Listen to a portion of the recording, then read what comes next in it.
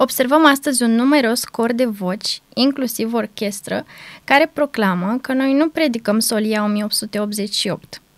Ei spun că niciunul dintre subiectele prezentate de noi nu se află în scrierile fraților John și Wagoner și unele nici chiar în Biblie. Cum se explică această situație? Este adevărat că noi nu predicăm solia 1888? Este adevărat. Frații acestea au foarte mare dreptate.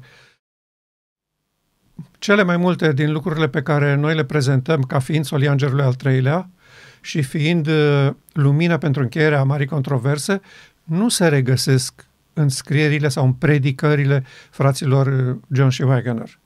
Și multe dintre ele nici chiar în scrierile fraților William și Short. Și pentru aceasta există o foarte precisă și clară explicație.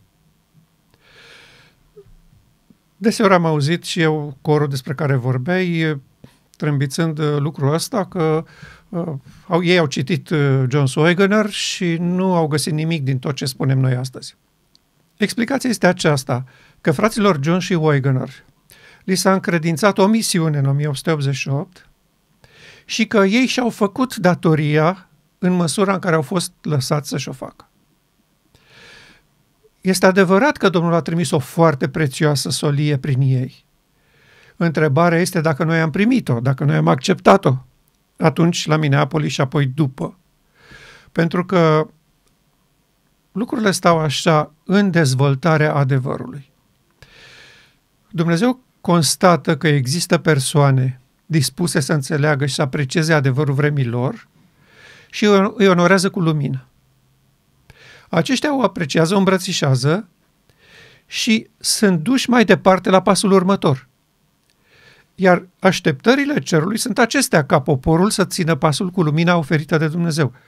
Oricât de uh, inacceptabil ar fi uh, fața sau prezentarea sau uh, caracterul solilor respectivi. Ori noi observăm că în toată istoria lucrurile așa au mers. Au venit o voce sau două sau trei într-o generație, au spus anumite lucruri și poporul s-a revoltat, s-a ridicat împotrivă, în loc să spună vrem să știm ce este cu asta. Hai să îl întrebăm pe Domnul. Nu s-a întâmplat așa. Uh, de ce nu se regăsesc uh, uh, lucrurile pe care noi le prezentăm astăzi ca fiind autentice și adevărata solia Îngerului al treilea în scrierile acestor frați? Vreau să fac o scurtă trecere în revista a modului în care eu am avut acces la aceste lucrări ale dânșilor și ale altor frați care au vorbit despre 1988. Primul lucru pe care l-am făcut atunci când am aflat despre 88 a fost să mă întreb ce e cu asta. De ce eu n-am auzit în, la predică, la adunare, în familia mea, în prietenii tatălui meu, de ce n-am auzit nimic despre asta? Și Domnul mi-a pus în mână o lucrare peste capul meu, să spun așa, nici n-am știut despre așa ceva, uh, pe care câțiva ani buni am părăsit-o în, bise- în bibliotecă. Nu m-am uitat la ea, nu m-a interesat nici titlul, nici subiectul, uh, dar când m-am întrebat ce e cu 88-ul acesta, am descoperit acolo, era în bibliotecă și uh, titlul cărții era acesta, Solia 1888, o introducere. Acum, noi toți, și eu și toți ceilalți care au citit cartea, uh, în prima fază am tras concluzia aceasta că uh, fratele Willand, autorul cărții, face o scurtă introducere a soliei 1888 în carte. Și că, prin urmare, în alte cărți vom găsi cuprinsul și încheierea, cumva. Pentru că orice narațiune, orice povestire, orice carte sau articol uh, trebuie neapărat să cuprindă o introducere, Uh, un cuprins și concluzia logică de ce, de ce ai scris ce ai scris, de ce ai făcut ce ai făcut. Tot așa este și cu solia pe care Dumnezeu o trimite. Ea are o introducere, Dumnezeu vrea să, să vadă dacă suntem interesați de subiect și dacă vede că suntem interesați, trece mai departe la cuprins. În momentul în care noi rămânem la introducere și nu ne interesează cuprinsul și îl batjocorim și ne opunem lui și nu credem că uh, mai este ceva dincolo de această introducere, lumina se oprește. Și exact asta s-a întâmplat atunci în 1888 cu biserica și apoi cu toți cei care au descoperit încet, încet ce cu solia asta 88. Vreau să spun pe scurt cum s-a întâmplat atunci când noi am început să vorbim despre lucrurile acestea la sfârșitul anilor 80 și începutul anilor 1990. Am scris câteva articole, dar ele nu au fost cunoscute în biserică pentru că atunci nu era internet și doar ce puteam să dăm pe hârtie prietenilor și așa mai departe. Dar uh, eu am scris o carte, Păcatul Cetății, și aceasta a fost împrăștiată peste tot în biserică, pentru că președintele Uniunii o recomanda, era de acord cu ea și conferințele au primit o parte din cărți și le-au distribuit într-o scurtă perioadă de timp. A fost un foarte mare carnagiu printre teologi și apoi profesori de la seminar și apoi printre pastori. Nu ne trebuie. Ce? John și Wagner? Nu avem nimic de ascultat de la ei. Au părăsit biserica, au postaziat. Toate lucrurile urâte posibile despre ei. Ca lumea să nu cumva să se aplece asupra ceea ce au spus ei.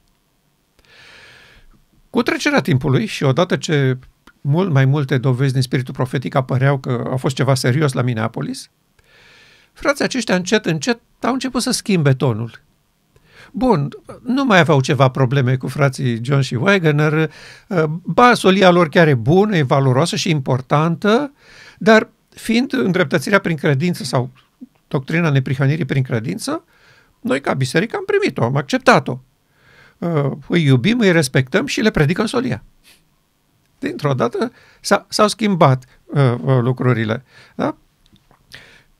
Dar biserica s-a oprit la această introducere ce au apucat să spună frații John și Wagner în 1887. Uh, așa cum spuneam, am citit cărțile lor și am vrut să știu și eu în ce constă solia. Istoria am înțeles-o. Ok, ce s-a întâmplat, cine s-a opus, care au fost dezbaterile, deși trebuie să punctăm aici un lucru care trebuie neapărat reținut de toți cei care sunt interesați de acest subiect. Nimeni nu știe ce au vorbit John și Wagner la Minneapolis. Adică concret, scris. Nu există așa ceva. Avem doar ce ne-au povestit oameni care au participat la sesiune. Sunt unii frați care au spus cum s-a desfășurat situația, ce au predicat frații John Swiggener. Știm că sora White spunea din când în când fraților aici mare lumină, dar nici ea n-a spus în ce a constat solia asta și lumina. Ea doar a dat câteva definiții. Și cea mai importantă pentru noi este aceasta, repetată în nenumărate locuri de ea că frații Jones și Wagner au fost trimiși de Dumnezeu să prezinte solia neprihănirii lui Hristos în legătură cu legea. Deci e vorba despre neprihănirea lui Hristos și ce legătură are această neprihănire cu legea. Așa că ă, este absolut nepotrivit să spună cineva ă, voi nu predicați ce au predicat frații John Soigener, că nimeni nu știe ce au predicat ei la Minneapolis. Deci nu se poate discuta pe tema asta. A, putem spune ce au predicat ei după. Dar după este o cu totul altă situație. Trebuie să vorbesc imediat despre asta. Apoi am citit cărțile fraților Ruilan și Short. Uh, imediat, uh, tot așa, fără voia mea și fără să fac eu vreun efort, uh, au intrat în posesia mea și le-am citit. Une, pe unele le-am tradus, ca și cărți ale fraților John și Wagner. Noi am publicat pe site-ul nostru în acea perioadă multe articole din cărțile lor, uh, chiar câteva foarte importante din uh, uh, una din cărțile lor de început, articole publicate de Insemnele Timpului, de exemplu, evoluție sau creaționism sau creație, în care ei discută experiența creștină și adventistă în general, că noi practic suntem evoluționiști, noi nu suntem creaționiști în experiența religioasă. Pentru că noi sperăm că vom birui păcatul progresiv. Iar ei spuneau, asta este teori- teoria evoluționistă. De la, de la rău spre bine. Prin creștere, prin dezvoltare, prin modificare. Și ei spuneau, așa e și credința noastră ca popor. Noi credem că azi biruim un păcat, după aceea mai cădem o dată, dar ne ridicăm cu și mai mare putere, Uh, după aceea urmează alt păcat, uh, mai cădem și acolo, dar iar ne ridicăm și cu ajutorul Domnului creștem și așa până vom ajunge la desăvârșire. Și ei spuneau că asta este o situație complet eronată. Nu așa se produce vindecarea în familia lui Dumnezeu. Da, mă rog, nu ăsta e subiectul nostru astăzi. Deci după ce am citit tot ceea ce am găsit publicat de ei sau predicile lor scrise și așa mai departe, după ce am citit tot ce au publicat frații William și Short și nu numai cărțile lor publicate, eu am avut acces fiind uh, prieten cu o familie din Franța care se ocupa de solia asta acolo, uh, ei mi-au dat toate casetele cu înregistrările de la întâlnirile grupului american. Și evident că, bine, unele erau uh, doar titrate în franțuzește, altele erau uh, doar în engleză, dar uh, eu am avut acces la toate și le-am ascultat cu atenție.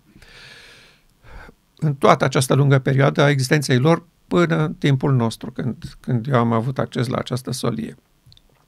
Dar nu m-am mulțumit să citesc doar cărțile acestor frați care susțineau solia și o prezentau și uh, explicau istoria și faptele și ce s-a întâmplat. Eu am vrut să știu și ce spun opozanților. Pentru că în biserică există o facțiune extrem de opusă uh, acestei solii și foarte largă. Uh, mai întâi am citit uh, cartea sau și cărțile, că în mai multe cărți el vorbește despre, despre ce s-a întâmplat în 88, ale fratelui uh, Leroy Edwin Froome, care este practic principalul pion care a produs schizma din anii 50. Pentru că el a organizat și apoi a tipărit uh, Questions on Doctrine și uh, s-a produs despărțirea în, în Biserica Adventistă între cele două categorii mari. Și am vrut să știu întâi care e părerea lui despre ce s-a întâmplat la Minneapolis, ce este acolo. Apoi eh, am citit eh, cărțile și pozițiile fraților din de acum Sparta teologiei adventistă, a dreptei radicale, cum o numim noi. Conservatorii aia îndârjiți care spuneau eh, noi stăm la adventismul istoric, ăla pe care l-a avut biserica până în anii 50 când s-au spart lucrurile. Facțiunea aceasta a fost uh, mult timp reprezentată viguros de frații Standish, uh, doi australieni foarte proeminenți și care uh, au ieșit pur și simplu la bătaie când biserica a îmbrățișat teologia lui Desmond Ford și a, a reformaționismului în adventism. Fratele Ron Spear, de asemenea un combatant și prieten cu frații Standish, și recent în timpul nostru, într-o anumită măsură, vede la fel lucrurile și fratele Denis Pribi. Și am vrut să știu ce spun acești frați. Și am citit și am ascultat cu atenție tot ce a spus. Cu fratele Colin Standish chiar am avut o întâlnire personală la București, atunci imediat după Revoluție. El a venit să își prezinte poziția într-o biserică adventistă deschisă acum. Practic, în acel moment nu mai exista niciun fel de cenzură sau atenție, cine vine de afară, ce spune, dacă e cu biserica sau nu. A fost un moment scurt așa de uh, confuzie puțin și putea oricine să vină, era primit cu bucurie și chiar mi-aduc aminte că, deși în acel moment conferința generală luase măsuri aspre împotriva dreptei radicale a fraților acestora, uh, la noi erau mulți care îi stimau și iubeau, chiar membrii Comitetului Uniunii. Pentru că eu căr- una din cărțile lor de la un membru al Comitetului Uniunii am primit-o, care era simpatizant. Uh, ascuns așa, nu spunea pe față că e cu ei, dar uh, avea aceeași teologie. Uh, și de asemenea, directorul de la radio, un frate pastor care chiar l-a găzduit și uh, la el acasă am fost uh, invitat să stau de vorbă, eu împreună cu un prieten de-al meu, să stăm de vorbă cu fratele Colin Standish, pentru că uh, el dorea să și căuta persoane, în special tineri, cărora să le prezinte adevărul ăsta, să nu cumva adventismul din România, ăsta bun și conservator, care a fost până la Revoluție, să o ia la vale acum, știi? Să preia biserica stânga liberală, să aduc ei, da? Teologia liberală adusă de Desmond Ford uh, și toți ceilalți. Și chiar am discutat câteva ore bune cu dânsul acolo. Evident, n-am fost de acord nici eu cu dânsul, nici dânsul cu noi. Dar vreau să spun că știu personal ce probleme văd dânsii și cum cred că se rezolvă. Apoi am vrut să citesc și care este poziția stângii liberale din biserică, pentru că ea e reprezentată și astăzi, dar a fost și atunci, în acea perioadă, uh, la conducerea teologiei bisericii. Uh, biserica a fost absolut preluată de stânga liberală, tot așa cum iudaismul vremii Domnului Hristos fusese preluat de saduchei. Uh, ei erau uh, liberalii vremii noastre.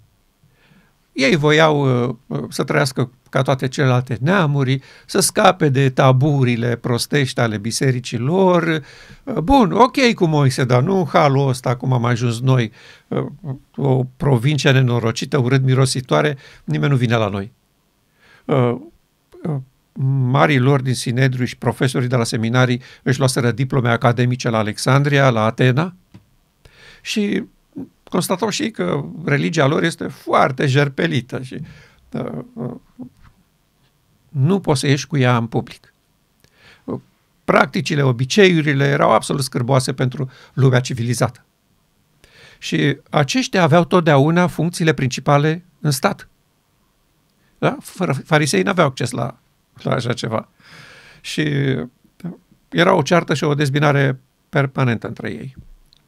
Și am vrut să văd pozițiile lor. Am citit și am ascultat Desmond Ford, am ascultat Roy Adams și cel mai mult, care a fost cel mai prolific luptător împotriva uh, soliei John Swagoner, a fost George Knight, uh, cel mai proeminent profesor de istorie din uh, Biserica Adventistă și cel care a scris cel mai mult împotriva acestor frați. Și el chiar declara verbal, fratele George Knight, că a făcut tot ce a stat în putere să demonstreze că Jones a fost aberant de la început până la sfârșit. Adică nu există nicio solie, nu există așa ceva. Ce recunoșteau ei? Toți, și Desmond Ford, și Roy Adams, și uh, George Knight, recunoșteau că John și Wagner au vrut să aducă înapoi biserica la neprihănirea prin credință. Pentru că ei considerau că biserica intrase într-un legalism feroce, predicând legea și comportamentul, și de acum e timpul ca biserica să se întoarcă înapoi la rădăcinile ei creștine, la neprihănirea prin credință, la încredere în jertfa totală și completă a lui Hristos pe cruce. Și că noi nu putem fi acceptați și primiți în lumea civilizată cu asemenea lucruri. Și de aici a plecat în pastorație ideea și astăzi, la modă și predicată, că la Minneapolis a fost vorba despre neprihănirea prin credință.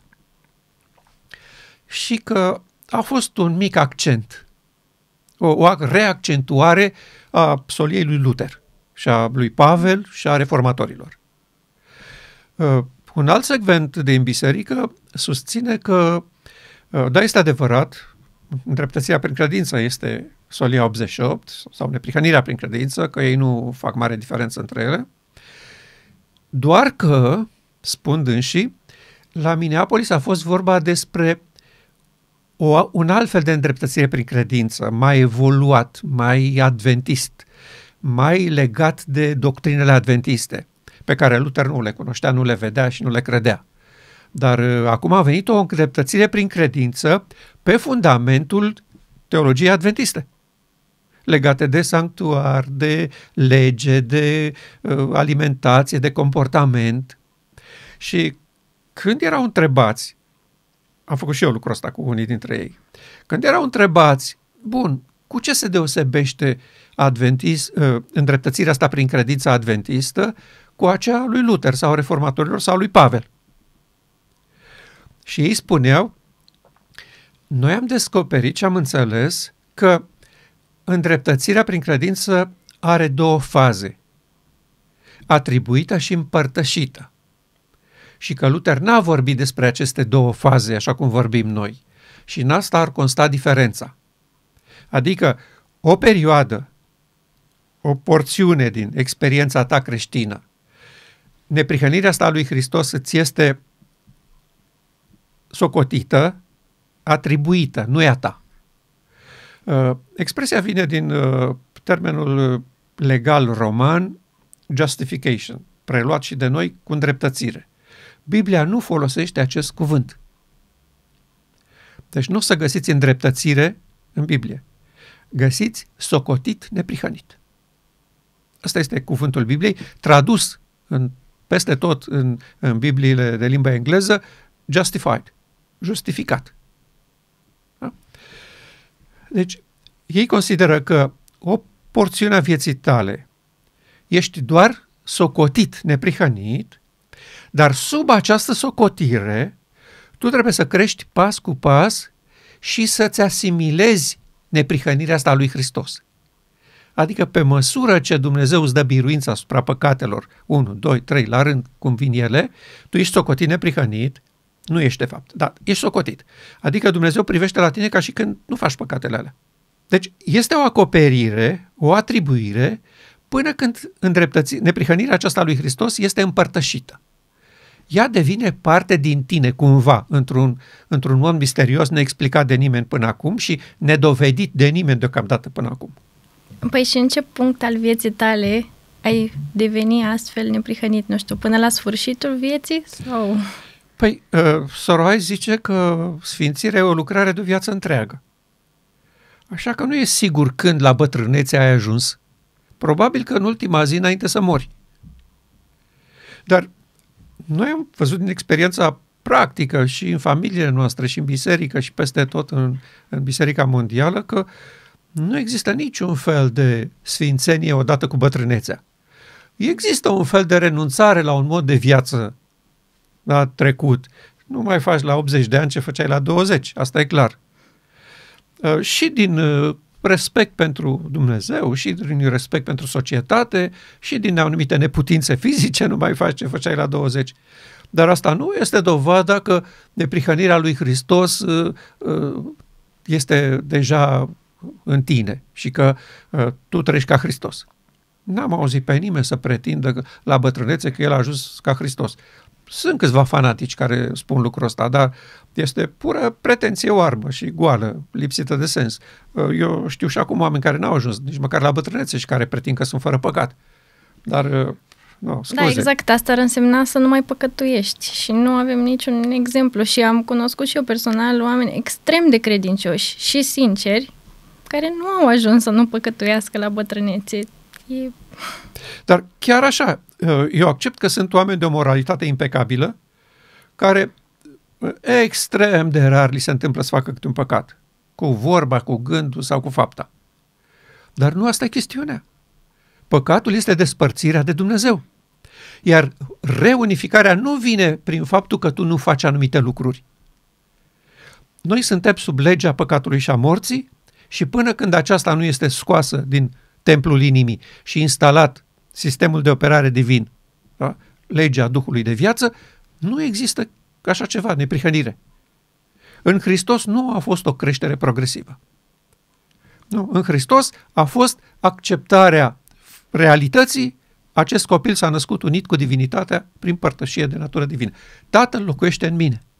El nu spunea, ă, mă zbat în fiecare zi ca din ce în ce mai mult tatăl să vină în mine. Da, nu vedem așa ceva. Și nu vedem nicio progresie în viața lui. Uh, la început, când uh, i-a chemat pe ucenici, mai făcea câte o greșeală, câte o prostie, dar după aceea, încet, încet, n-a mai făcut niciuna până la Golgota. E absurd să spunem așa ceva. Nu. Neprihănirea când vine, persoana respectivă nu mai păcătuiește. Punct. Și nu mai este păcătos, că asta este important. Că poate să nu mai păcătuiască, dar dacă nu, cele două naturi nu sunt unite, omul tot păcătos este și tot moare. Tot uh, putrezirea îl duce în mormânt. Asta este chestiunea. Ori, lucrurile acestea uh, nu au fost înțelese și nu au fost tratate cu seriozitate, după părerea mea. Și de aceea uh, lucrurile au ajuns să, să uh, schimbe direcția discuției în toată această perioadă la și după Minneapolis, referitor la neprihănire sau îndreptățirea prin credință. Pentru că ei atunci la Minneapolis, opozanții, vreau să spun, foarte des vorbeau despre asta că Jones ce au adus? Că știm și noi uh, îndreptățirea prin credință și noi o primim și noi o predicăm. Ce vor să ne spună? De unde lumină? ce e cu asta? Da? Ei nu înțelegeau că acolo este o introducere.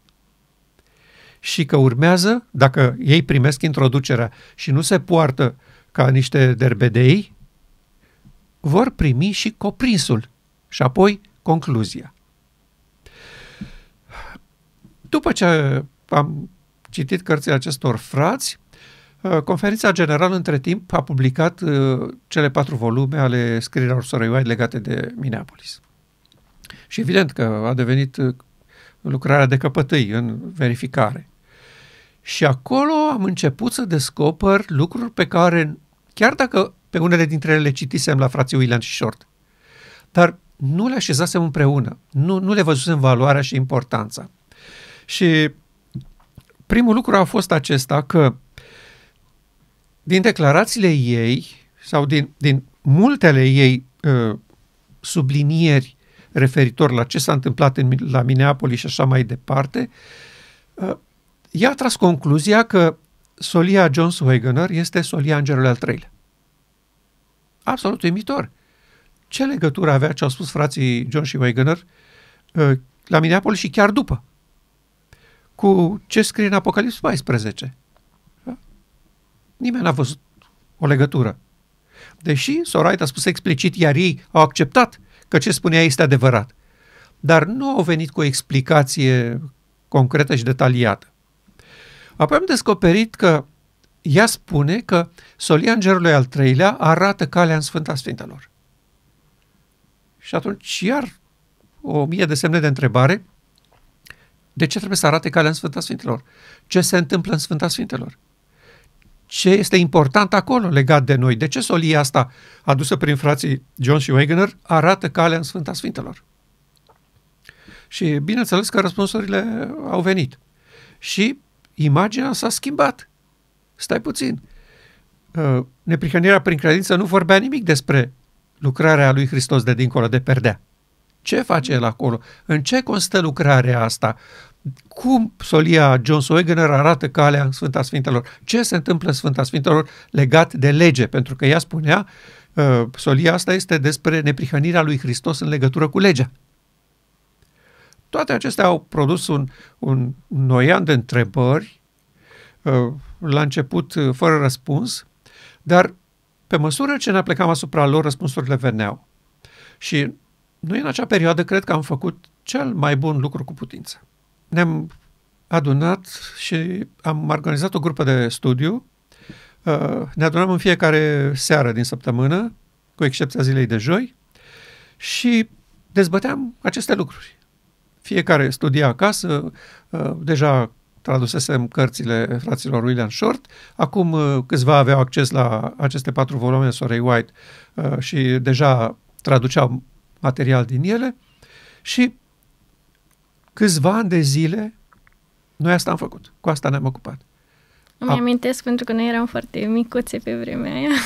Da, și părinții voștri veneau cu, veneau cu voi acolo, mi-aduc aminte, și tu cu Ana și Mihăiță și Celi, da. mulți copii veneau și uh, mi-aduc aminte că uneori nu vă jucați, ascultați ce se întâmplă acolo.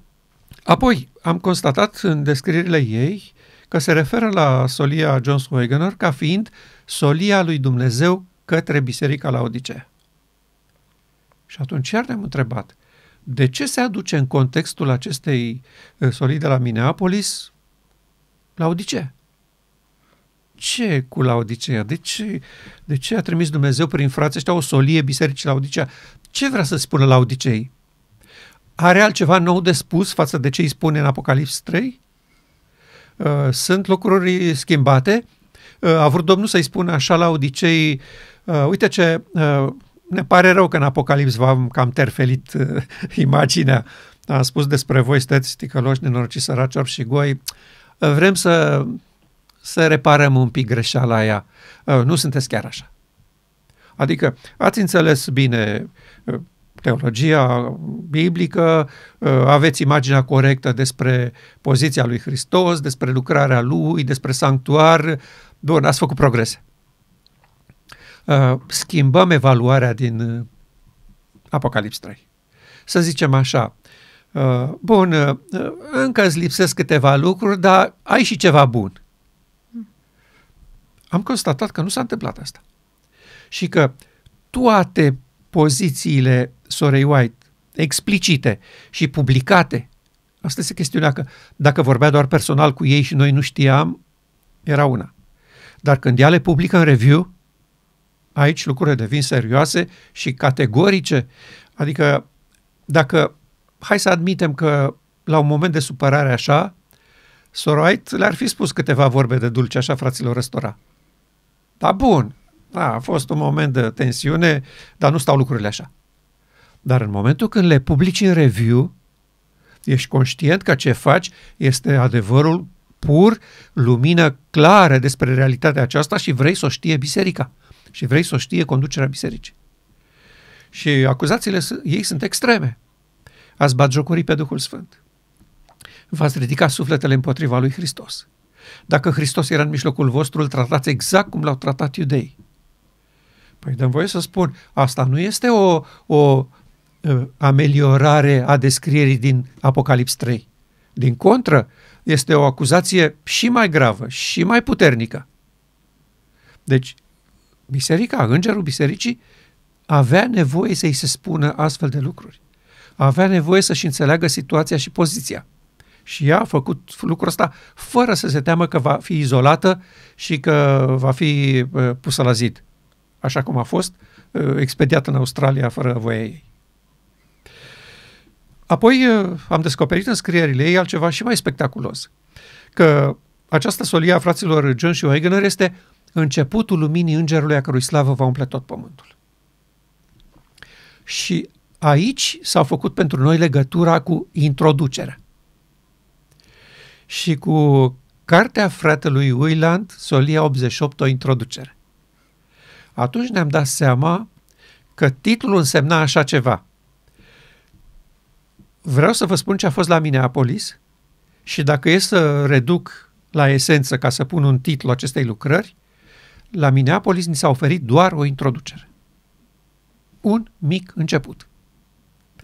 Un slab început. Și acum noi ne trezim în anul 2023 cu o situație incredibilă. Teologii bisericii, corpul pastoral uh, din stânga sau din dreapta baricadei teologice, toți îmbrățișează 88 începutul acesta, dar sub nicio formă nu cred că introducerea aceasta are un cuprins sau o încheiere, o concluzie. Și acum când noi am constatat și am descoperit valoarea extraordinară a conținutului, a cuprinsului, frații ne acuză că noi ne-am depărtat de Salsolie 88, că nu mai predicăm introducerea. Păi ce carte e aia când de la început până la ultima pagină este doar introducere? Tu nu spui ce vrei să spui. Da? Nu, nu ai nimic decât o prezentare a ce vrei să spui. Dar ce vrei să spui nu există. Nu, Dumnezeu n-a făcut așa. N-a spus, vă dau introducerea și vă ajunge. Nu, vă dau introducerea, dar urmează, urmează cuprinsul. Și uh, vreau să citim câteva paragrafe în care ea vorbește chiar la Minneapolis, în timpul sesiunii, că această introducere a fost tăiată și obligată să rămână introducere de acțiunea propriilor noștri frați, delegați și conducători de la conferința generală. Și primul paragraf este chiar uh, de manuscrisul nou din 1888 și el sună așa.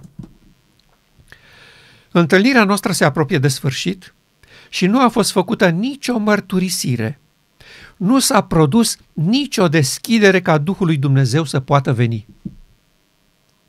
Deci Duhul lui Dumnezeu dorea să vină, să le facă cunoscut conținutul, cuprinsul soliei pe care el dorește să le aducă. Da? Și ea constată că nu s-a produs nicio deschidere să-i se permită Duhului Sfânt să vină. Și acum eu vreau să știu, când Duhul Sfânt nu vine. Ce lumină crezi că poți primi? Că solii aceia vorbeau călăuziți de Duhul lui Dumnezeu. Ei au primit introducerea și și-au făcut datoria. Au venit cu ea. Dar cuprinsul nu stătea pe spatele fraților Jones și Wegener.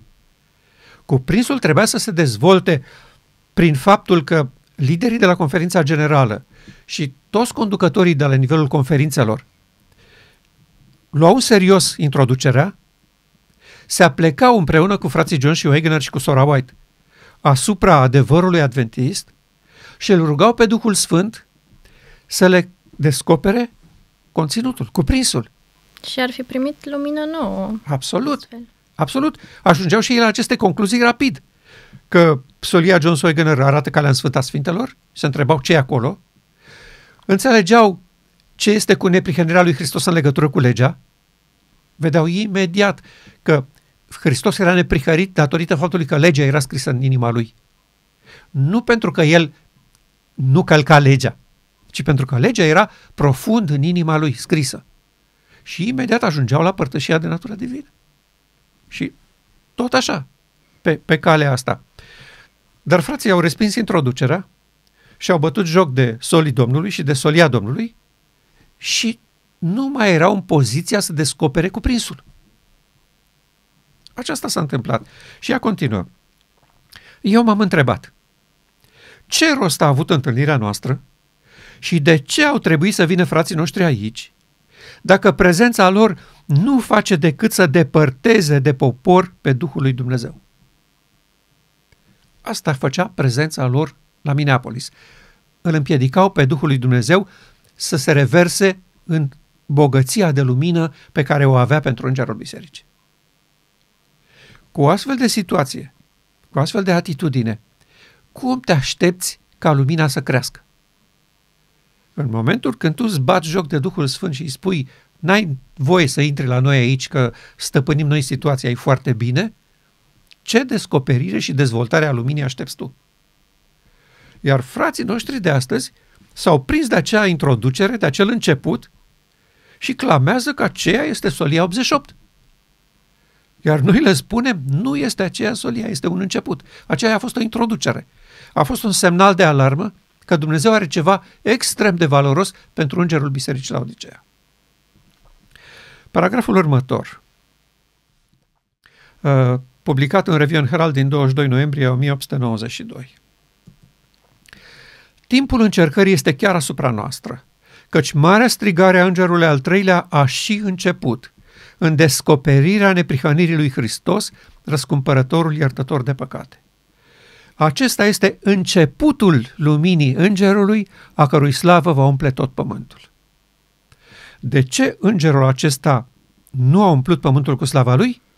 Pentru că noi l-am obligat pe Dumnezeu să rămână la începutul luminii. Nu am lăsat lumina să se dezvolte și să ajungă conținut și apoi concluzie. Ce vreau să spun cu introducere, conținut și concluzie? În ce constă lucrul ăsta legat de solia lui Dumnezeu pe care dorește să ofere bisericii? La început, introducerea. Prieteni, n-aveți aur, haină și doctorie. Iar Hristos era neprihănit datorită faptului că avea legea scrisă. Voi sunteți fără lege. Voi sunteți nelegiuiți. Asta înseamnă nelegiuit. Fără lege. Dacă ești fără lege, n-ai cum să trăiești cu legea. Hristos trăia în lege deoarece avea legea scrisă. Acesta era începutul care trebuia pe ei să-i șocheze. Care este conținutul? Unde se ajunge de aici? Se ajunge că, așa cum Hristos a fost vindecat după scopul etern al lui Dumnezeu, tot așa poporul său va fi vindecat prin părtășie de natură divină. Să ajunge imediat la excepționalele paragrafe ale spiritului profetic legate de unirea dintre divin și uman. Da? Fiul omului este de plin calificat să fie începătorul unei omeniri. Imediat ajungeau la scopul lui Dumnezeu cu noi, o nouă omenire. Oameni uniți cu divinitatea prin părtășie de natură divină. Înțelegeau principiile și erau în fața lor, le accepta sau nu. Amvoanele adventiste trebuiau să vibreze cu această chemare la nuntă. Dumnezeu vrea să unească divinitatea sa cu omenescul vostru și să vă prezinte în fața lumii ca o demonstrație așa cum a fost ea descrisă în Ezechiel 36. Și venea încheierea, concluzia. Un grup de oameni așezat în fața omenirii, vindecați de păcat, ca Hristos. Și omenirea avea șansa din nou să aleagă între Baal și Hristos. Și cu asta se încheia marea controversă. Asta este introducere, cuprins și încheiere. Da? Ezechiel 36 este încheierea, este concluzia. Voi fi sfințit în voi sub ochii lor. Dar când voi nu mă lăsați să unesc omenescul vostru cu divinitatea mea, ca să vă dau pomul vieții, și v-ați cramponat și v-ați legat de dreptățirea în credință, că aia a fost solia pe care eu am vrut să vă trimit, ca și când nu știați de la Luther, în momentul ăsta nu pot să fac nimic. M-ați legat de mâini și de picioare. Nu pot să fac absolut nimic. Și iată rezultatul. Biserica astăzi nu are cuprinsul, luptă împotriva lui, el neagă, uh, uh, uh, îl bagiocoresc pe cei care îl cred și îl acceptă în comunități, peste tot, și prin urmare nu vedem demonstrația. Omenirea încă așteaptă să vadă un om vindecat după modelul lui Hristos. Urmașii lui Hristos. Că de ne numim urmașii lui Hristos. Să fim nouă omenire, copiii celui de-al doilea Adam. Noi suntem copiii primului Adam. Din păcate, la această oră târzie a istoriei. A, și, cum spunea martorul credincios, între timp Iisus stă la ușă și bate. Da, exact. Pentru că ace- această realitate care a fost în Hristos încă bate la ușa bisericii. Omenescul unit cu divinul nu este acceptat în interior. Este acceptat dincolo de poartă, de câțiva care au fost obligați să părăsească comunitatea și să propovăduiască, să prorocească în sac și cenușă dincolo de poartă, acolo unde e Hristos. Dar în biserică nu se acceptă această dramatică și magistrală schimbare de realitate. De la copiii ai lui Adam la copiii ai lui Hristos. Deși tuturor le place să se împopoțoneze cu titlul acesta. Noi suntem urmașii lui Hristos, noi suntem copiii lui. Nu, urmașii lui Hristos sunt oameni uniți cu divinitatea prin părtășie de natură divină. Aceasta este omenirea lui Hristos. Și aceasta nu a apărut. Și atâta timp că această omenire nu apare, Hristos nu revine. Timpul și istoria dovedesc acest lucru. Și apoi încă un, încă un paragraf, chiar din, din Jones, ca să nu existe dubii dacă noi vorbim despre uh, lucruri reale sau închipuite. John spune așa, în 1893. Aceasta se referă la ce s-a întâmplat la Minneapolis, cu el și cu Wegener. Aceasta nu este decât o mostră. Ce este o mostră? O introducere, da? Puțin din, puțin din cuprins. Vă dăm o pregustare despre cum e marfa. Asta este o mostră, da? Vor veni lucruri mai surprinzătoare decât cele de la Minneapolis. Deci, atenție, urmează conținutul. Da? Urmează cuprinsul soliei. Vor veni lucruri mai surprinzătoare decât cele de la Minneapolis. Și acum, atenție, din gura lui Jones. Mai surprinzătoare decât tot ce am văzut noi până acum. Adică, fraților, aveți o experiență în lucrurile lui Dumnezeu. Cunoașteți istoria, știți ce a fost în Vechiul Testament, știți ce a fost în Noul Testament, știți ce a fost cu Hristos, cu ucenicii, cu primii apostoli, cu prima biserică creștină, cu apostazia, cu uh, biserica Filadelfia, cu biserica la Odiceea. Știți toate lucrurile astea. Spune Jones, eu vă spun un lucru. Lucrurile care vin cu prinsul soliei vor fi mai surprinzători decât tot ce ați văzut voi până acum. Deci lucruri complicate, complexe, uh, uh, profunde uh, și în același timp salvatoare. Față de ce o să vină, deci spunea Jones, până acum n-ați văzut nimic. Nu e asta cea mai solidă dovadă că la Minneapolis n-a fost decât o mostră, o introducere, o, o prezentare a intenției lui Dumnezeu? Asta este dovada. Și acum Jones continuă. Și fraților, adică atenție aici, că nu ne jucăm, spune el, se va cere de la noi să primim și să predicăm acel adevăr. Mai surprinzător decât tot ce am văzut noi până acum. Frații nu vor să-l predice. A venit. A venit. Lucrarea lui Hristos de dincolo de perdea. Așezarea lui satana dincolo de perdea în sfânta și preluarea lucrării lui Hristos de până atunci, care fusese iertare și îndreptățire prin credință. Lumină despre omul Iisus Hristos ca fiind începătorul unei noi omeniri. Toate lucrurile astea, caracterul lui Dumnezeu impecabil legat de neprihănire, toate lucrurile astea sunt văzute ca, ca lucruri nebiblice și periculoase. De ce? Pentru că ei nu le citesc la John și la Wegener. Și în cea mai mare parte nu le citesc nici la frații William și Short. Și atunci ei trag concluzia că noi am inventat ceva, dar nu există în solie așa ceva. Nu, fratele Jones pe care l-ați îmbrățișat și pe care acum îl prezentați ca fiind soluția și omul care uh, aduce uh, rezolvare în biserica la Odiseea, iată ce spune. Noi va trebui să predicăm acele lucruri mai surprinzătoare decât tot ce am auzit noi de până acum. Și el spune așa ceva. Dar dacă nu vom avea fiecare fibră a acelui spirit smulsă din inimile noastre, vom trata acel mesaj și mesagerul prin care este trimis la fel cum a declarat Dumnezeu că am tratat celălalt mesaj, adică cel de la Minneapolis. Nu? Care a fost fibra aia de la Minneapolis? Bătaia de joc față de sol și de solie. Cine sunt John și Wagner? Ce uh, boboci ăștia? Adică acum au, le-a dat și lor puful și vor să ne învețe pe noi uh, care am dus greu bătăliei împreună cu fratele White, cu sora White și cu toți pionierii și am pus biserica pe o temelie doctrinală impecabilă cu care am luat fața lumii. Uh, vine să ne învețe pe noi? Fratele Uriah Smith spunea cât se poate de amărât la acuzația asta că el nu acceptă solia John Swegener, pe care o considera dreptățirea prin credință, ca și frații de azi.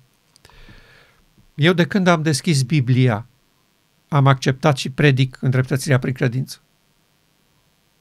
Nu poate să vină nimeni să-mi spună mie că asta e o noutate și că e adevăr nou. Pentru că eu predic lucrurile astea de când mă știu. Da? Și avea dreptate. Da? Toți predicau îndreptățirea și neprihănirea prin credință. Uh, aceste două imagini despre, despre lucrarea lui Hristos nu pot fi prezentate segmentat, adică Luther și Pavel au avut o imagine despre neprihănirea prin credință, dar noi avem alta. Dar tot neprihănirea prin credință este. Nu e o greșeală asta. Neprihănirea prin credință nu poate fi prezentată sau definită decât într-un singur fel, așa cum a văzut-o Pavel și așa cum a văzut-o Luther. Nu poate fi pusă în alt context, pentru că ea a fost lucrarea lui Hristos până în 1844. Deci nu se poate spune, noi acum am descoperit că lucrarea pe care a făcut-o Hristos uh, nu a fost completă, a fost mm, nu prea ok. Avem noi o imagine mai clară, o definiție mai bună. Nu, e greșit. Pavel a înțeles-o corect, Luther a înțeles-o corect, pentru că era realmente lucrarea lui Hristos din Sfânta. Sau reprezentată de încăperea asta iertare și socotit neprihănit prin credință. Asta a fost lucrarea lui Hristos. Numai că după 1844, satana, văzând că Hristos a trecut la altă fază a lucrării lui, a preluat-o pe aceea veche. Și îi face și astăzi pe oameni să creadă că aceea este solia curată pe care Dumnezeu a trimis-o uh, la Minneapolis. Deci, iată de ce nu se mai potrivește ca noi să spunem, în concepția acestor frați, noi predicăm solia 88. E adevărat, noi vorbim despre introducere, pentru că ne legăm de fapte, de evenimente, de oameni. Dar solia noastră de astăzi este cuprinsul soliei. Este lucrarea lui Hristos de dincolo de perdea. Este efortul lui de a produce un grup de oameni care învață o cântare nouă, pe care n-a învățat-o nimeni până acum. Și în acest context se potrivește și ce spune uh, Jones aici, că uh, va fi mai surprinzător decât tot ce am văzut noi până acum. Pentru că grupul acela de oameni care învață o cântare nouă este unic în experiența Universului. N-a mai existat până acum așa ceva. Ca un grup de oameni despărțiți de Dumnezeu să învețe reconectarea, să se reconecteze la sursa vieții. Aceasta este o cântare nouă pe care nimeni n-a cântat-o. În univers nu există niciun singur caz de oameni păcătoși reconectați cu divinitatea, cu excepția lui Hristos, evident. Că acest popor este urmarea demonstrației făcute de Dumnezeu în Hristos. Deci și Hristos a cântat o cântare nouă, de-aia și fost omorât pentru noua partitură. Nu suna deloc bine la urechile fariseilor și saducheilor din vremea lui, această nouă cântare. Și acum un grup de oameni de pe planeta Pământ o cântă. Cel mai surprinzător lucru cu putință este să apară într-o lume a copiilor lui Adam un grup de oameni, copii ai noului Adam, al celui de-al doilea Adam. Asta este o, o răsturnare spectaculoasă de situație în marea controversă. Și noi asta predicăm. Recunoaștem, nu predicăm Solia 88 așa cum o văd acești frați. Noi predicăm conținutul și nu introducerea. Sigur, acceptăm introducerea, ă, credem că Dumnezeu a făcut un lucru foarte bun, credem că frații John și Weger au fost solii Domnului și ei au adus această introducere, dar ei nu au adus cuprinsul. Introducerea a fost blocată, stopată și din acel moment nu s-a mai putut trece mai departe. De aceea ă, și Soroait explică în alte locuri că această uh, imagine despre realitate a fost descoperită chiar de Dumnezeu și de îngerul care o însoțea. Îngerul meu călăuzitor, spune ea. Și îngerul a spus foarte clar că poporul, repet aici, revolta lui Core, Datan și Abiram, apoi că uh, ei l-au împiedicat pe Duhul Sfânt să-și facă lucrarea și nu se mai poate face nimic acum. Vor avea o altă ocazie în viitor. Deocamdată nu se mai poate face nimic. Și ei au și demonstrat lucrul ăsta, faptic, concret. La un an și ceva după Minneapolis, i-au despărțit pe Soroi, pe John și pe Wegener. L-au trimis pe Wegener în Anglia și pe Soroi în Australia. Și au pus capac acestei dezbateri. Solia a rămas la nivelul de introducere. Și de aceea li se pare ciudat astăzi, fraților, că noi vorbim despre altceva, nu mai vorbim despre lucrurile începătoare ale soliei lor. Uh, știi cum se întâmplă lucrul ăsta? Uh, mie îmi place povestea asta cu un copil care pe la trei anișori a fost trăpit de tâlhari unei familii. Și, sigur, familia avea fotografii cu copilașul, țineau la mare cinste, toți sperau să-l găsească, să-l găsească.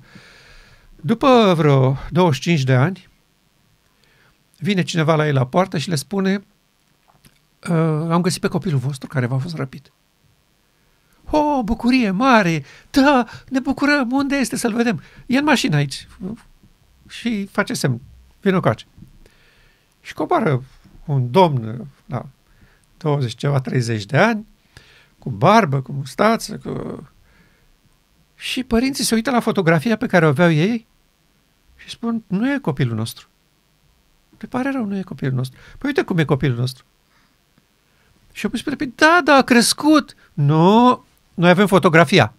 Noi avem fotografia. Ăsta e copilul. Nu poate să fie, nu, nu seamănă. Uite-te la fotografie și uite-te la el. Nu e copilul nostru. Da? Cam în această situație se află acești frați pe care eu îi compatimesc pur și simplu. Se uită la fotografia din 88 și spun, nu e copilul nostru. Acum la 100, aproape 50 de ani de atunci. Păi copilul a crescut. Și voi n-ați băgat de seamă, voi n-ați știut, nu v-ați gândit că el poate să crească, pentru că voi nu credeți că solia îngerului al treilea are o slavă crescândă.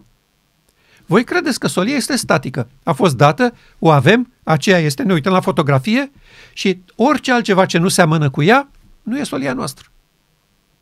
Și ei se leapădă de copilul lor pentru că nu mai seamănă cu fotografia de la trei ani. Exact în această situație se află acești frați care trâmbițează foarte vehement acum că solia este aia ce au scris John și Wegener și că cine se depărtează de la ce au scris nu mai e solia 88 și că prin urmare noi dacă nu mai susținem poziția aia a începutului, nu reprezentăm purtătorii de cuvânt ai lui Dumnezeu. Se uită la fotografie, văd un copil de trei ani și se identifică cu el și spun, ăsta este copilul nostru. Asta este situația în acest moment. Și noi recunoaștem că da, după acea fotografie, noi nu predicăm Solia 1888. Pentru că noi credem că Dumnezeu în acești ani, datorită oamenilor serioși și consacrați pe care i-a avut, în frații William și Short și alții ca ei, uh, în Robert Brinsmith în prima perioadă a lucrării lui, uh, în anii 60, uh, și apoi alții și alții care au săpat în minele bogate ale neprihănirii lui Hristos, ne-au ajutat pe noi, inclusiv scrierile Sorei White, ne-au ajutat pe noi să descoperim conținutul soliei. Și pe baza conținutului acestuia va avea loc sau va urma cuprinsul. Cuprinsul nu poate să apară imediat după introducere. tot așa și în realitatea aceasta. Cu ceea ce s-a prezentat la Minneapolis nu se poate întâmpla Ezechiel 36 cu 23. Voi fi sfințit în voi sub ochii lor. De aceea Dumnezeu trebuia neapărat să facă conștient pe acest popor care trebuia să devină omenirea nouă a lui Hristos despre intențiile sale cu ei. De ce a trimis această solie? Ce așteaptă ca, răzul, ca rezultat al primirii uh, apelului martorului credincios? Vino la mine să-ți dau aur, haine și doctorie. Nu le ai. Oricât ai bate tu din picior că le-ai primit la botez, nu le ai. Și trebuie să ți le dau, să ți le ofer eu în această magistrală zi a Marii Zi a Ispășirii pentru un popor în viață. Uh, corul de care vorbeam la început susține că aceste idei nu se găsesc nici în Biblie. Uh, și recent am auzit pe cineva afirmând des- destul de sigur pe el că ideile sunt în mare foarte interesante, dar nu sunt susținute de Biblie. Cum este? Depinde cum citești Biblia. Lucrurile pe care noi le prezentăm, sigur că nu sunt susținute de Biblie în felul acesta. Ei nu le găsesc cu aceste cuvinte acolo. Și au dreptate să spună, sigur, unde scrie în Biblie părtășie de natură divină. Scrie așa într-o formă puțin la Petru, părtași firii dumnezeiești, dar în rest nu găsim. Unde scrie că nunta mielului e mare zi ispășirii. Nu scrie în Biblie. Prin urmare, nu găsim. Cu raționamentul ăsta au dreptate. Dar uh, eu invit să țină cont de ce a declarat Jones în pasajul pe care noi am discutat mai înainte. Vor veni lucruri mai surprinzătoare decât tot ce am văzut noi până acum. Păi dacă sunt surprinzătoare, n-aș știu de ele. Se pare mie, nu? Când e un lucru pe care îl știi, nu e surprinzător. Te-ai gândit la el, l-ai văzut, l-ai știut. Dar când nu ai văzut niciodată ceva, e surprinzător. Jones asta spune. Vă rog să-l citați. Vă rog să-l folosiți. Da? El a spus foarte clar. Va veni lumina de la Dumnezeu mai surprinzător decât tot ce am văzut noi până acum. Nu este biblic. Acum, cu raționamentul ăsta, eu îi confrunt pe frați cu o situație pe care ei o trăiesc. Există în lumea creștină un cor la fel de masiv de voci cât se poate de autorizate, cu doctorate, cu experiență teologică până la capăt, care spun că ideile adventiștilor pot fi interesante și frumoase, dar nu sunt biblice. Da? Toată lumea teologică spune că noi spunem aberații și că le-am scos din mânecă. Dar noi nu credem asta. Frații respectivi care ne acuză pe noi sunt convinși că adevărurile adventiste sunt biblice. De ce nu se frisonează că întreaga lume ne spune că nu sunt biblice? Pentru că ei au descoperit că ele sunt biblice. Chiar dacă teologia noastră este așezată pe două versete din Vechiul Testament, da? Uh, an zi, da? 2300 de seri și dimineața, apoi Sfântul Locaș va fi curățit. Tot două versete lumea creștină ar avea toate motivele să spună ce sunteți într-o ureche, v-ați așezat o doctrină întreagă și ați construit o biserică mondială pe două versete din Biblie și apoi cu restul ce faceți? Că celelalte spun ca noi, nu ca voi. Și frații respectiv nu sunt tulburați de lucrul ăsta. Aoleu, ce facem? Lumea zice că noi nu suntem biblici. Mai recent au luat un bobârnac și mai serios, frații de care vorbim noi acum. Uh, cu câțiva ani în urmă, un an sau doi, a izbucnit un scandal destul de violent uh, uh, la nivelul uh, pastorației adventiste și, în general, la seminarul teologic. Unul din pastorii adventiști, fost profesor la seminarul de la Cernica, a intrat în dificultăți cu biserica, s-au certat, s-au despărțit și fratele respectiv și-a făcut o nouă biserică. Și de la învonul acestei noi biserici,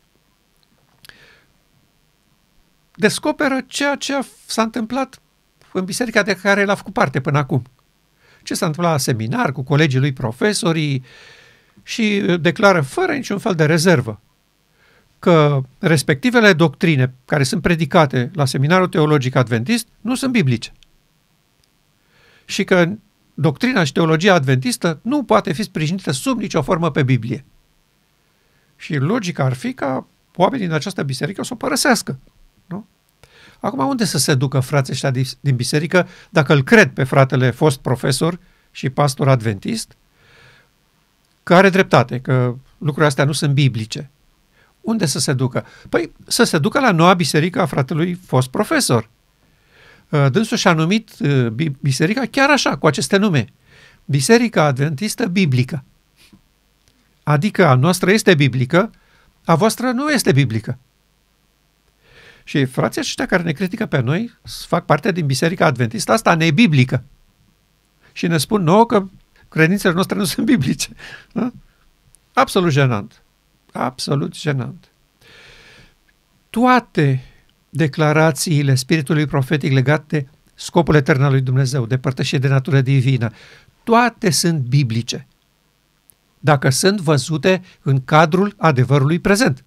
Pentru că dacă tu le lași în cadrul vremilor, nu se potrivesc în cadrul adevărului prezent. Dacă nu ții pasul cu slava crescând a solingerului al treilea, nu vezi adevărul vechi într-un cadru nou. Îl vezi într-un cadru vechi. Și aici nu ți se pare că este adevăr. Adevărul este acolo, în cadrul acela vechi. Și asta s-a întâmplat cu toate versetele cheie care pentru noi sunt o bogăție de lumină. Încep cu Ieremia 31. Voi scrie legea mea în mintea și inima voastră. Poate să spună cineva că asta nu este scopul etern al lui Dumnezeu și părtășie de natură divină? Voi așeza legea mea în mintea și inima voastră. Ezechiel 36. Voi scoate inima de piatră, voi pune inima de carne, voi pune în ea Duhul meu și vă voi face să păziți poruncile. Nu aceasta este cheia scopului etern al lui Dumnezeu pe care noi îl predicăm? Cum spuneai că nu este biblic? Da? De ce? Pentru că îi lasă pe Ezechiel în cadrul vechi al adevărului, referindu-se la orice altceva, nu la poporul lui Dumnezeu din generația finală. Or, și Ieremia și Ezechiel vorbesc despre un viitor. Domnul nu spune acolo, iată ce am să fac cu voi acum. Voi face, voi pune legea mea. Un viitor. În Ieremia chiar trage atenția asupra acestui lucru. După acele zile. Deci există o perioadă de timp în care n-am să fac lucrul ăsta. Dar după acele zile, voi face un lucru. Deci este la viitor. Nu poți să-l lași în cadrul vechi al adevărului. Trebuie să-l plantezi neapărat în cadrul prezent al adevărului. Și în cadrul adevărului prezent este acesta. Dumnezeu a făgăduit că va scrie legea sa în mintea și inima noastră și asta este ceea ce Sorai numește părtășie de natură divină. Pentru că legea divină este Duhul Sfânt, este sistemul de operare divin. Divinitatea vine să locuiască în corturile acestea pământești, așa cum s-a întâmplat cu Hristos. Și uh, când s-a mai întâmplat în istorie ca într-un popor Dumnezeu să realizeze asta? Nu înțeleg cum putem să vorbim despre trecut. Tocmai. Nu s-a întâmplat cu niciun popor și cu niciun individ. S-a întâmplat cu Hristos. Asta este începutul. Care s-a născut așa. Da, categoric. Categoric, da. Dar în Hristos era sămânța pentru un popor viitor. Și în aceasta și-a pus Dumnezeu speranța că dacă situația era rezolvată doar în Hristos, exclusiv în Hristos, urma să încheie istoria imediat după ce a înviat El. La trei zile, la patru zile, gata, trebuia să încheie tot, la revedere cu păcatul, Sfinții pleacă la cer, evenimentele finale. Ori nu s-a întâmplat, pentru că Hristos trebuia să demonstreze că lucrul acesta se poate cu orice copil al lui Dumnezeu care acceptă ce s-a întâmplat în Hristos. Ori asta nu s-a întâmplat până acum. Și toate celelalte, Ioel, Maleahi, deodată va intra, tot la viitor. Nu spune Maleahi, și deodată intră acum solul legământului în templul său și curăță pe fiul lui Levi. S-a întâmplat. Fiul lui Levi nu a fost curățați în vremea aia. Deodată va intra, odată, în viitor. Toate vorbesc despre așa ceva. Toate versetele acestea sunt o, o iluminare a intenției lui Dumnezeu cu poporul său. Noi le socotim biblice. Hristos este biblic. El a fost al doilea Adam. Noi pe el îl prezentăm. Pe el îl propovăduim ca soluție a omenirii. Iată ce a făcut Dumnezeu cu fratele nostru mai mare, asta vrea să facă și cu noi astăzi. Pentru dânsi aceste lucruri nu sunt biblice. Și e adevărat că acest Hristos pe care noi îl prezentăm nu este Hristosul lor, că altfel n-am avea dificultăți. Am predicat același lucru. Ei se închină unui fals Hristos care a preluat lucrarea lui Hristos de până în 1844, aceea pe care toți o considerau biblică până în 1844. Pe aceea a preluat-o satana și n-a modificat-o. Nu a strâmbat-o. A lăsat-o exact cum este. Sunteți mântuiți prin credință, prin îndreptățirea prin credință. Iertați! Nu aveți nevoie de altceva. Asta este capodopera lui. Așa a continuat împărăția lui pe acest pământ și în univers 2000 de ani. Păcălindu-i pe credincioși că este suficient, că au fost iertați și că și-au pus speranțele în Hristos, să se ducă liniștiți în mormânt, că precis vor învia și vor merge în cer. Și creștinii stau liniștiți, așteptând să moară, ca să meargă în cer. Timpul trece și împărăția lui satana progresează și se întărește și ne arată adevărata ei față, hidoasa ei față.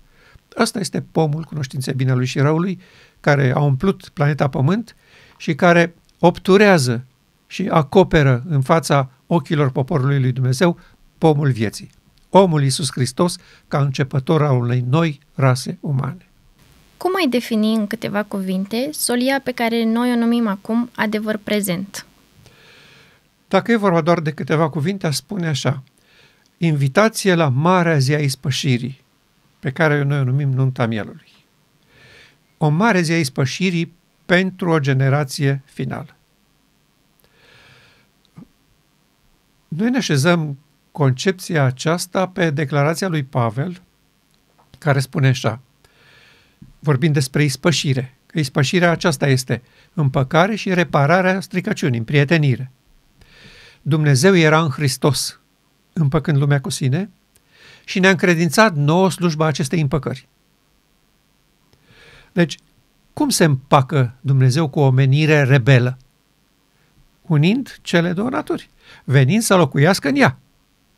În Hristos Dumnezeu a venit și a împăcat natura lui umană cu divinitatea. Și ne-a pus în față un exemplu. Iată ce vreau să fac cu voi. Dacă Pavel se oprea aici și ne-a încredințat nouă slujba acestei împăcări, atunci noi eram de acord total că ispășirea s-a făcut exclusiv la Hristos și că nu e nevoie să se facă cu noi. Și că noi suntem acceptați prin locuitorul. Da? S-a făcut în Hristos, nu e nevoie să se facă și cu mine. Dacă eu cred că s-a făcut în Hristos, o să fiu mântuit. Aceasta era poziția corectă. Dar Pavel nu s-a oprit aici. Și el continuă, de aceea vă rugăm fierbinte în numele lui Hristos, împăcați-vă și voi cu Dumnezeu.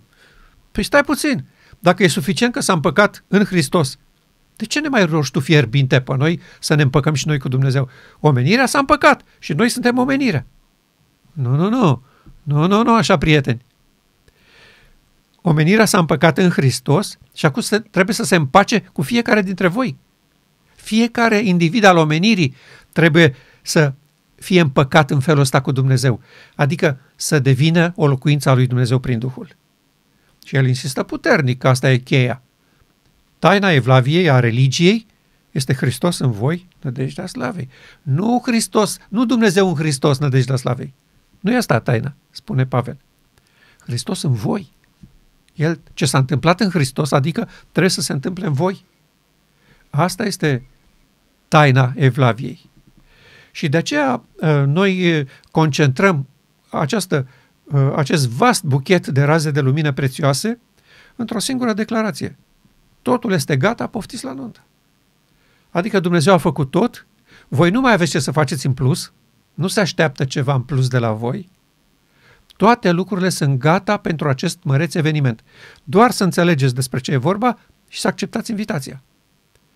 Dar când Dumnezeu și Universul întreg, spectator, vede cum noi disprețuim invitația și nunta, prinsându-ne de îndreptățirea prin credință și neprihănirea prin credință,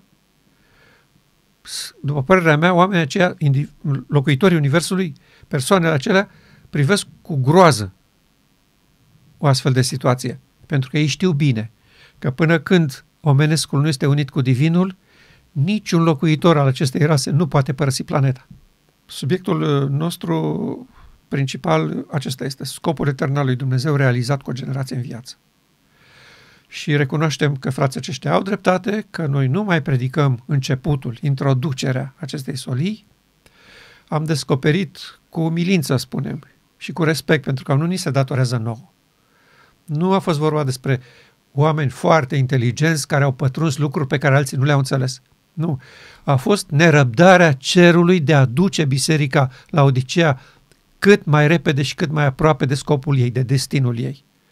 Și rază după rază le-a descoperit, ni le-a așezat în față și așteaptă de la noi să le primim cu respect, să le onorăm, să deschidem ușa în fața lui Hristos și să-i spunem te acceptăm pe tine ca începător al unei noi omeniri și ar noi vrem să devenim această omenire. Te rugăm, primește-ne în noua ta familie, pentru că noi recunoaștem că tu ai făcut tot ce se putea face ca să ne aduci în acest moment și spre rușinea noastră noi permanent te-am bagiocorit, te-am umilit, ți-am întors spatele și am plecat după stafii și himere.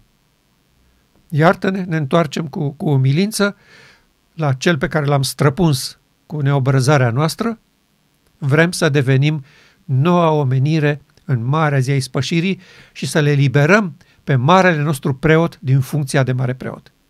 Vrem ca în sfârșit împăratul împăraților și domnul domnilor să poată împărăți. Acesta este strigătul Universului în Apocalips 19, când uh, Ioan vede nunta mierului. Mireasa s-a pregătit, adică a acceptat conținutul soliei, cuprinsul, i s-a dat să se îmbrace în insubțire strălucitor și curat. Atunci împăratul și Domnul nostru începe să împărățească.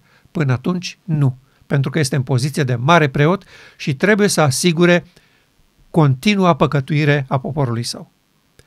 Noi spunem aceasta este o bătaie de joc față de marele nostru preot și este cazul să pornim pe calea consacrată care duce dincolo de perdea, acolo unde Domnul nostru a intrat ca înainte mergător pentru noi. Aceasta este solia 1888 pe care o predicăm noi și foarte curând poporul acesta va vedea concluzia finală. Voi fi sfințit în voi sub ochii lor.